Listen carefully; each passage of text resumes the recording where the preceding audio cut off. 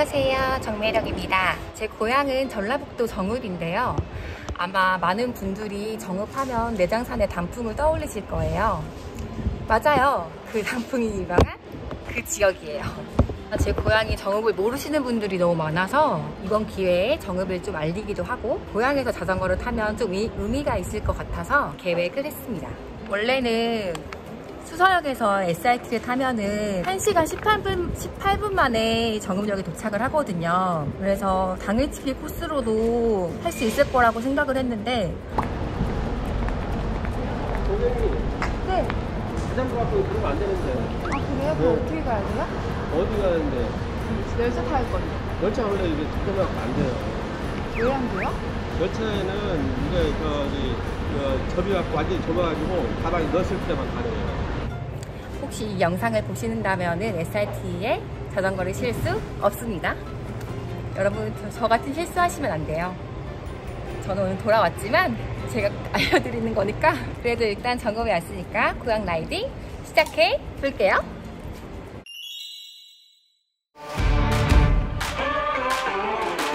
발열 체크를 해야 되는데 네, 감사합니다.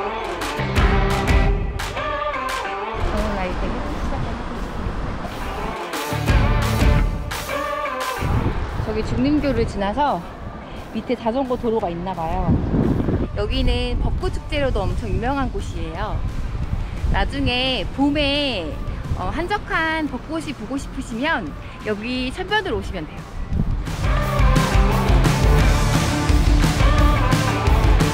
제가 생각하는 정읍의 자랑은 물론 여러 가지가 있지만 정읍에 오셨으면 여기는 꼭 가봐야 된다 하는 매력의 추천 자전거 여행지 딱 세 가지만 꼽아보자면 첫 번째 어딘지 저랑 함께 가보시죠.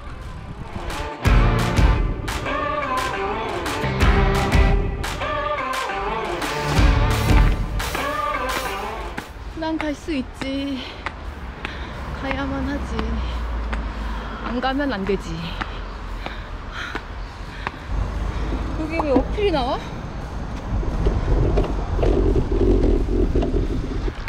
나오기 있니?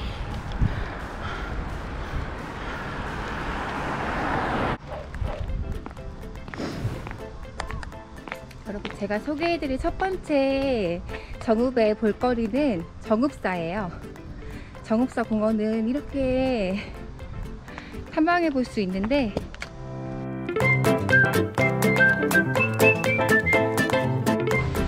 짜자잔 저기에 미술관이 있는데 여러분 이렇게 예쁜 이곳이 정읍사 공원이었고요. 이제 안녕. 이제 두 번째 추천지로 가보실까요? 진짜 공도라서 위험한데 정말 조심하셔야 되십니다. 두 번째 추천지는 여러분들이 다 예상하시는 바로 그곳이에요.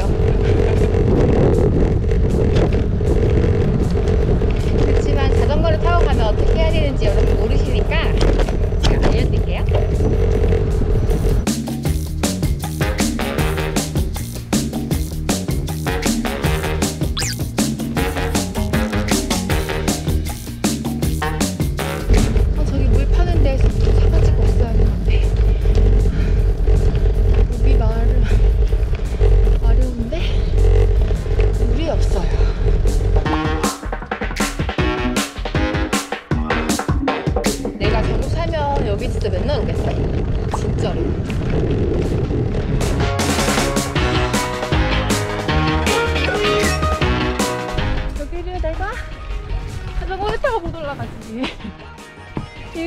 어필, 엄청난 어필이라서 나만 못 올라가는 거 아닌?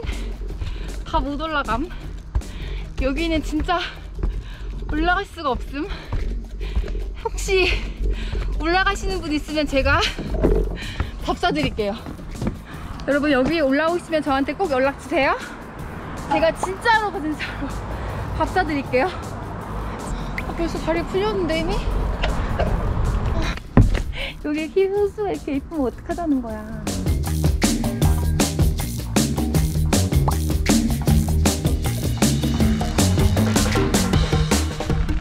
아 근데 여기 너무 좋다. 진짜. 여기가 이제 공도구나.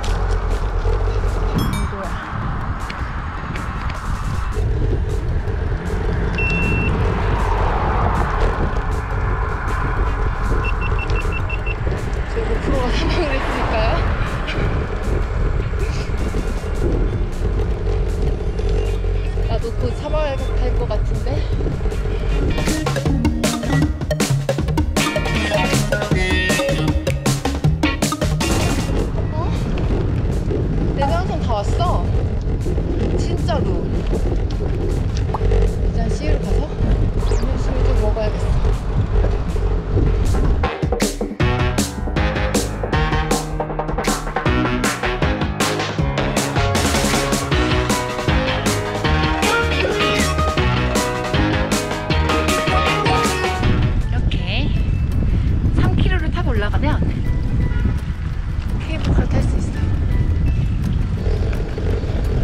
같이 와서 같이 촬영하고 같이 라이딩 하다가 영상도 혼자 찍고 이렇게 멀리도 혼자 오고 지금 또 이렇게 혼자 라이딩을 하고 있으니까 엄청 쓸쓸하기는 한데 그래도 이 코스는 너무 좋다.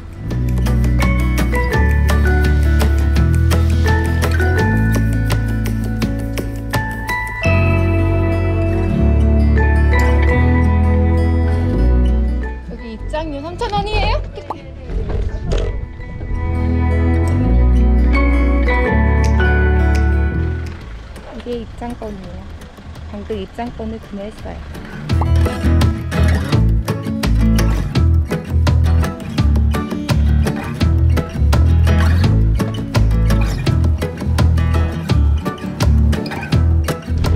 정읍에 계신 분들은 아 여기 자전거 타고 오면 이렇게 좋은데 왜 자전거 안 타시는 걸까요? 진짜 좋은데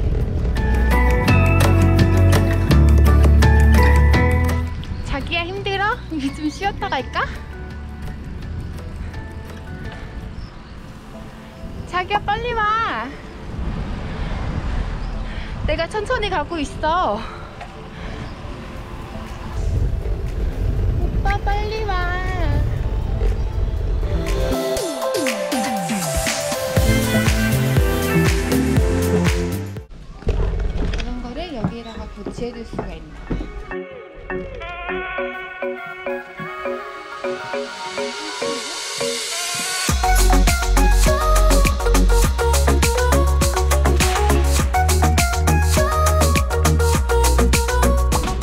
분이세요?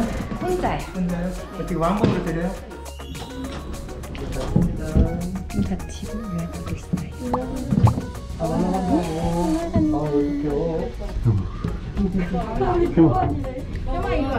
이거 봐봐 이거 어 시원해. 시원해. 아, 생각보다 속도가 엄청 빨라요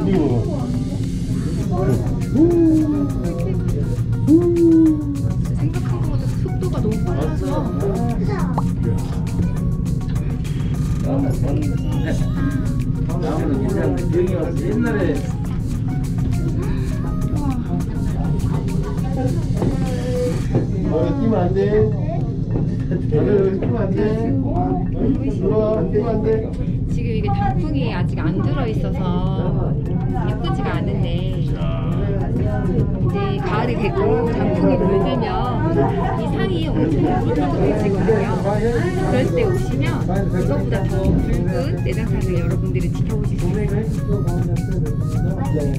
지금 오는 거랑 가을에 오는 거랑 단풍이 다 물들었을 때 오는 거랑 느낌이 다르기 때문에 여기 단풍 오실 단풍이 들었을 때 꼭 한번 와서 추천드릴게요.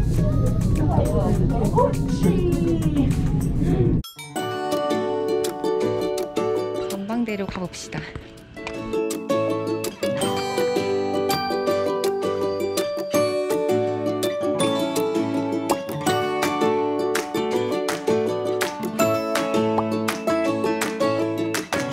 네, 여기다가 세우고 기도를 했으니까 제 소원이 이루어지시겠죠? 엄마 거기 아, 와 개구리 있어. 개구리 있다 여기. 개구리 있어. 대박. 오빠 천천히 와. 남자친구 놀이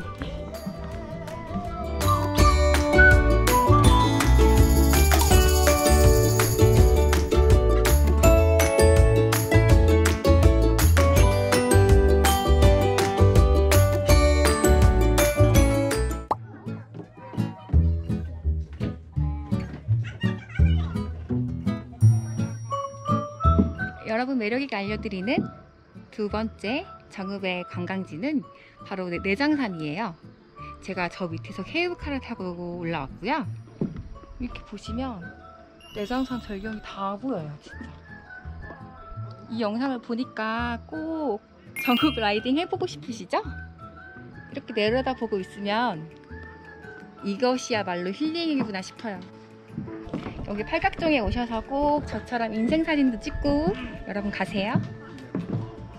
저는 이제 내려갈게요. 20분마다 한 대씩 케이블카가 있다고 하니까 그거 꼭 시간 체크하시고 이용하세요.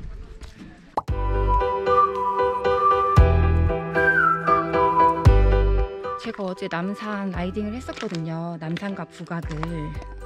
그리고 오늘 또 새벽에 일어나서 정읍에 라이딩 하러 왔잖아요.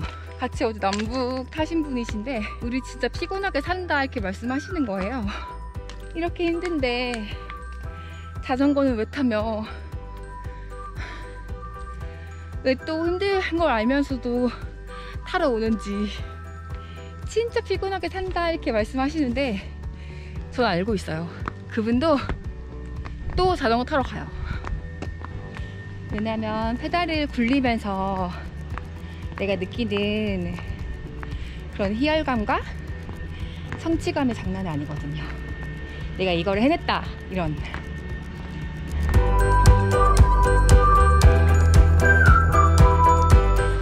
제가 이렇게 케이블카를 탔고요. 여러분, 제가 소개하는 정읍의 세 번째 가봐야 될 곳을 향해서 가보겠습니다.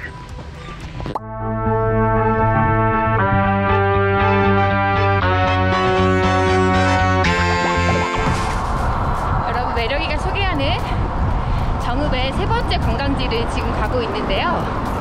저는 정읍에 올 때마다 항상 들리는 편이기는 한데요. 어딘지 같이 가볼까요?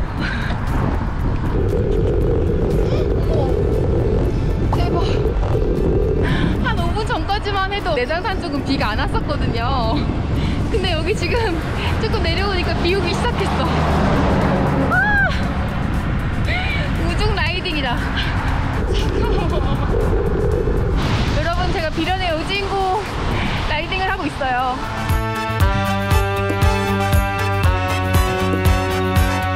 여기만 들어와도 막 한약재 냄새가 나요. 여러분 여기가 어디냐면 짜잔 정읍에서 엄청 유명한 쌍화차 거리예요. 오늘 여기를 갈 거고요. 제가 쌍화차를 먹으러 들어가 볼게요.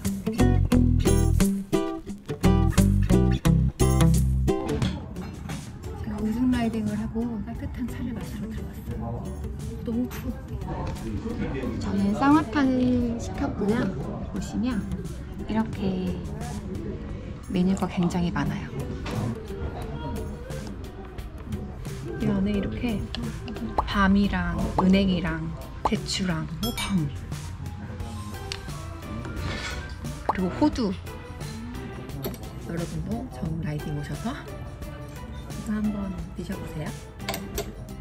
음, 마시니까 진짜 아까 비 맞았던 몸이 다 녹는 그런 기분이에요. 제 영상에서 정보를 소개할 수 있게 돼서 너무 너무 너무 의미 있는 그런 라이딩이었고 제 영상을 통해서 정읍이라는 곳을 모르셨던 분들도 많이 아셨으면 좋겠어요. 아셨죠? 여러분 그럼 다음 영상에서 만나요. 안녕. 사장님이 이거 서비스로 주셨어요. 오미자차인데 입가심으로 먹어. 여러분 정매력 구독